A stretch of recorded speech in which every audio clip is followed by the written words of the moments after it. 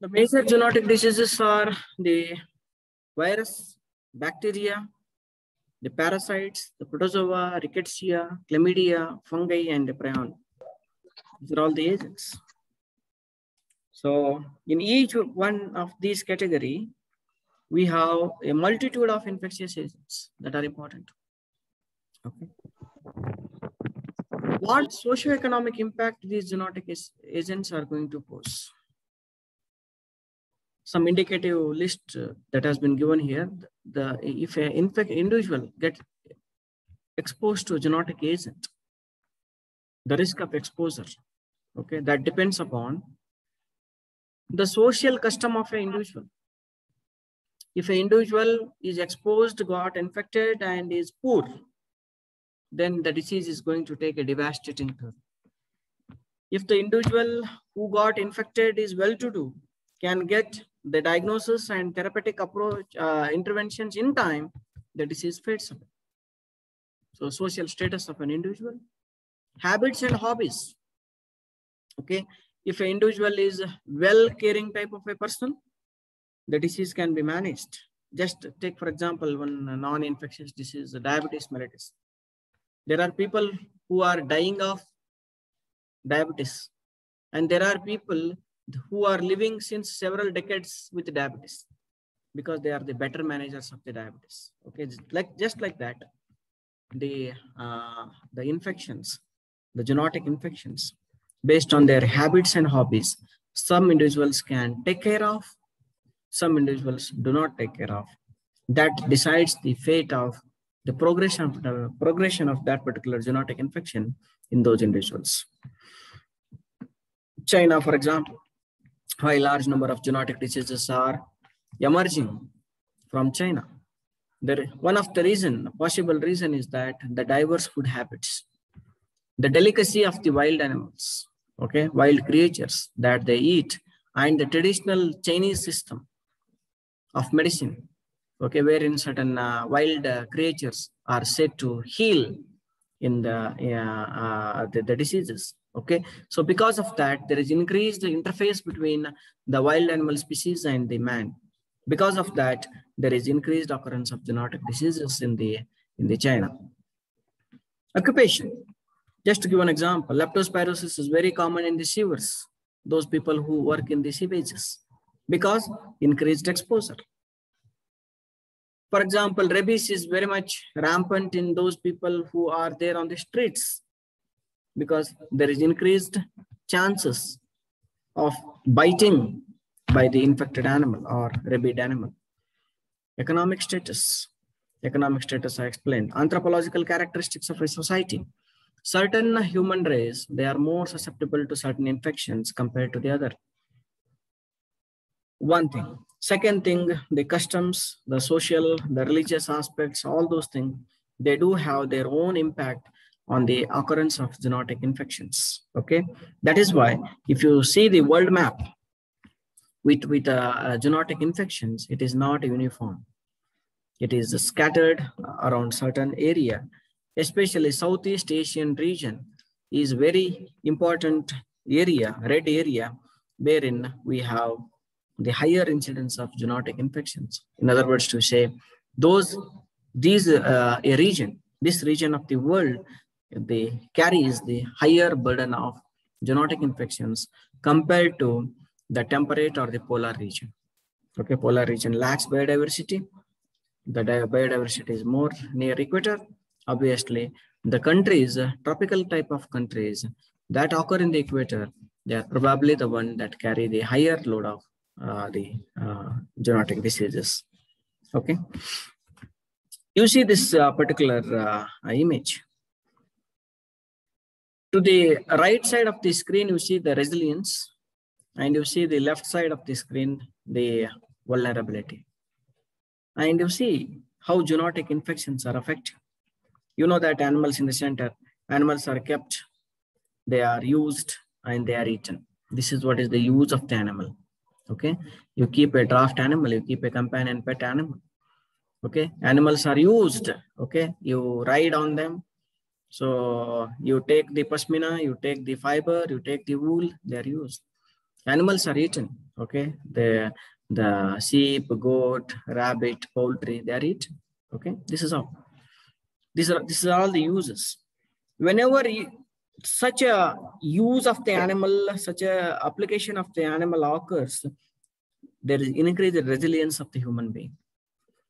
The animals are used for for mitigating the malnutrition in the human because that they are the protein and other nutrient sources, increase the human resilience. If they are not there, it increases the vulnerability. Okay, if the egg is not provided, if the milk is not provided, if the meat is not provided, such individuals will become vulnerable to the diseases or towards death. That is what is vulnerability. But the animals, they uh, perform the function of increasing resilience. So animals are kept. Whenever these animals are kept for the benefits mentioned here, the animal through these animals, the zoonotic infections are also transferred. Whenever these zoonotic infections are transferred to the human being from the animals, okay, the resilience gets decreased depending on the type of the zoonotic infection, the vulnerability increases. The resilience opposite is the, the poverty, the, the death, the suffering. This is what is vulnerability, we call it as. Okay. So zoonotic diseases, those countries that are having large number of zoonotic diseases, uh, there is a higher vulnerability to these infections. In the in other words, there is a vicious cycle. Okay, poverty, zoonosis, low income, zoonosis, um, more of a customs and religious type of things, higher vulnerability. I'm going to discuss whenever I discuss a particular disease, but at this point of time, we just have a general overview. So they all are, they, they, they are, they are either mutually, they are complementary. Okay, the poverty, the poor hygiene, the poor hygiene, the increased uh, uh, infections, including zoonosis, higher zoonosis, again that reduces the, their poverty means increases their poverty. They, they, it push them to become more and more poor because there is spending on these zoonotic infections. Okay, work, they cannot work. Again, they will become poorer and poorer when they get affected. So it is a vicious cycle. If you see the top uh, obstacles for the global trade in different countries, if you see them, they are all, if you see them, especially the foods of animal origin, they are the zoonotic diseases are obstacles to the global trade. We do have list A and list B OI diseases. They are important to a country or uh, for the global trade. The impact of zoonosis and uh, on the human well-being and the economy, if you talk about, enormous damage they do. One thing is that I talked about a vicious cycle. The countries having higher burden of the zoonotic infections, they become poorer and poorer because they have to spend on vaccines, they have to spend on deworming, they have to spend on hygiene, sanitation. And when, when, uh, when an individual uh, uh, acquires the skills and all, and when they succumb to a zoonotic disease, again, that's going to create a, a type of uh, uh, vacuum there. So that's also one more problem.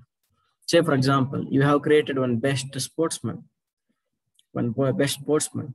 After creating, after spending so many crores of rupees, when that individual is ready to participate in the Olympics from a country, if that individual dies of zoonotic infection, so that spending is lost resilience is lost, vulnerability is increased. Just to give an example. So likewise, there are many factors. We are going to discuss these factors in detail in another class. There are many factors that impede the growth of any nation. One such factor is the zoonotic infections. Now, what is the quantum?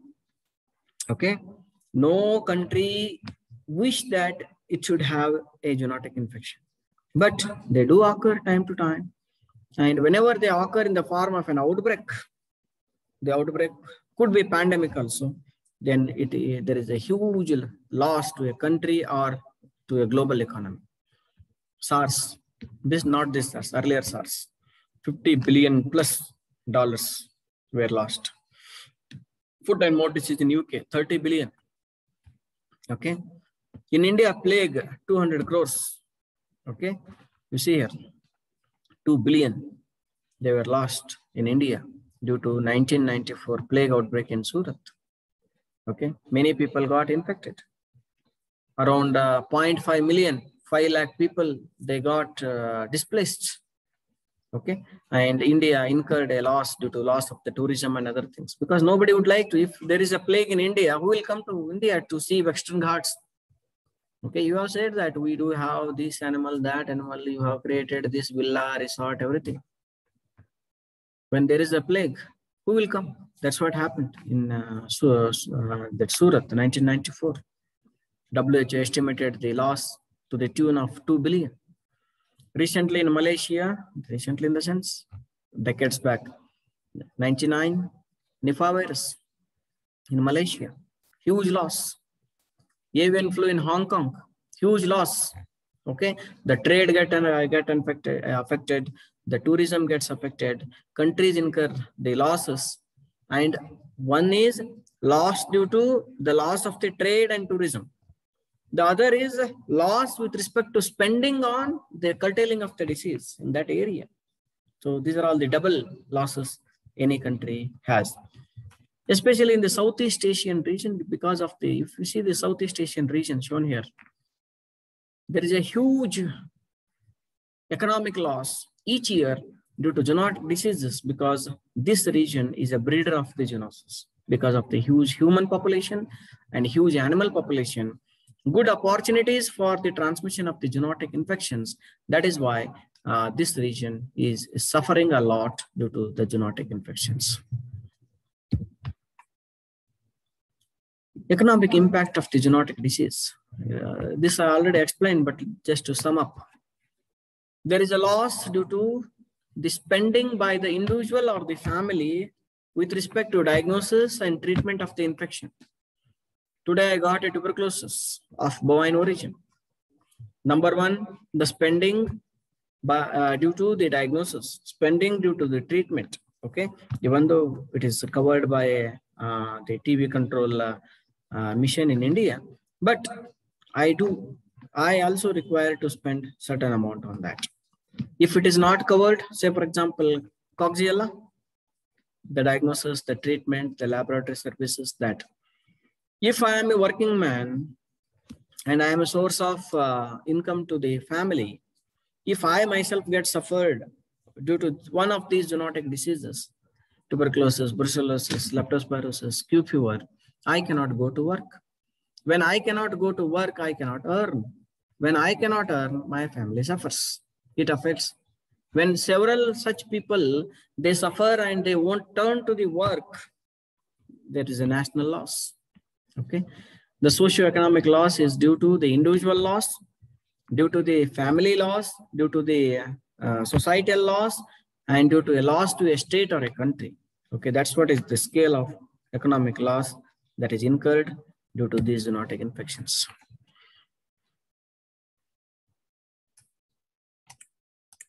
What impact uh, uh, these zoonotic infections uh, have? Okay, one is loss of work capacity. If you suffer from, if a farmer suffers from brucellosis, there is very severe joint pain. That individual cannot work efficiently. There is work capacity is lost. Either there is disease or disability. If it is a disability, sometimes the disability is a lifelong, lifelong uh, phenomenon. Then the individual can never come to work again. Loss of earning. This person has not gone to work. There is no earning. Clinical complications. We talk about Reiter syndrome, Guillain-Barre syndrome, the, the uh, post-episode. The infection is over, but sequel that occurs after some time, nervous disorders, long crepitating type of infections. So they are all going to affect uh, the, the, the outcome of the uh, resilient life of an individual. We call them as clinical complications you, you are having some immunosuppression due to some reticuloendothelial infection. And a commensal organism has taken upper hand. Or you have been treated for some certain zoonotic infections with a certain uh, therapeutic agent, but the super infection has spread in. Okay, what are these super infection? All those things we'll study little later. So there is interference in the family life. You are having a brucellosis. You are having uh, other uh, sexually transmitted diseases. The family life cannot be proper.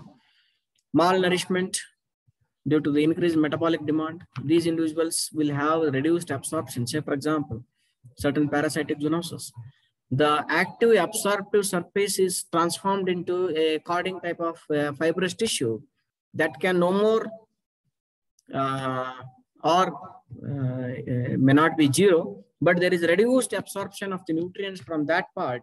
So there is malnourishment. Nutrients are there in the food, but they are not absorbed in the gut because there is damage to the absorptive surface. That such individuals, even though they are fed with a, uh, um, uh, what you can say, prescribed diet, they will not put on the weight. There is malnourishment. Immunosuppressive conditions such as HIV and AIDS. Okay, say for example, the, the population is uh, that uh, if you see the demographics, the number of HIV infected individuals who are transformed into AIDS patients has increased. And this has increased the opportunities for zoonotic infections to increase. Just to give an example, today we are talking about the black fungus, mucormycosis. Mucormycosis is there very much in the environment. It is there where I am talking right now. It is there where you are sitting. It is there over your cell phone. It is there in the air. It is there in the uh, your cupboard. It is there in the uh, everywhere. It is there. Then why you are not suffering from black fungus? Because you are immunocompetent. Even if some spores you inhale, even if some hyphae that enters your nose, you are capable of eliminating that. When an individual for corona treatment, when they are put under steroid therapy, there is immunosuppression. And whenever there is immunosuppression, these super infections that occur, uh, they, are simultaneously on the antibiotic therapy also. Okay, so this is how. Likewise, when it comes to HIV AIDS, the individual is individuals are immunosuppressed. Since they are immunosuppressed, any zoonotic infections, if that individual would have been immunocompetent, zoonotic infection would have failed. But since he's a, he or she is immunosuppressed, so the, there is increased opportunity for the agent to flare up. Okay. So remaining things we will uh, uh, discuss in the subsequent classes just to wind up because it is time now. They affect the food supply, egg supply, milk supply, meat supply, they, are, they all get affected. They affect the animal health. Okay, animals, they do suffer. Ultimately, that increases the, the, the burden uh, in any country. Okay, so we, we need to undertake the surveillance and they affect the what we call it as the food supply. And at a global level, we do have a certain system to address these zoonotic infections okay. So that's how the that's what is the uh, the area of zoonosis that uh, that we are going to study in this particular uh, uh unit uh, over a period of uh, another month or so. Okay. I do not know exactly how long but we are comfortable in completing the syllabus. Okay. Any doubt? Quick one or two doubts quick. No doubts? Okay, then uh, uh, CR, please note down the attendance. Uh,